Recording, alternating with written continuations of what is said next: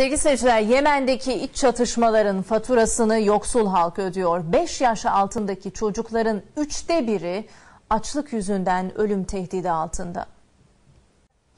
Bir kadın sürücü şiddetli yağmur yüzünden dere yatağına dönüşen yolda otomobiliyle sürüklenmeye başladı. Çevredekiler hemen yardıma koştu ama bu defa da onlar sele kapıldı. Kısa bir aranın ardından veda edeceğiz.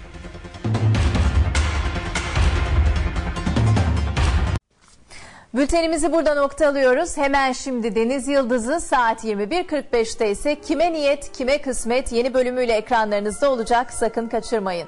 Yarın akşam saat 18.30'da Fox Ana Haber'de biz yeniden karşınızdayız. İyi akşamlar.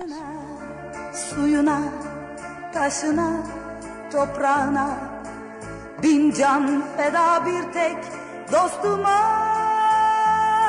Her köşesi cennetin ezilir yerler için Bir başkadır benim memleketim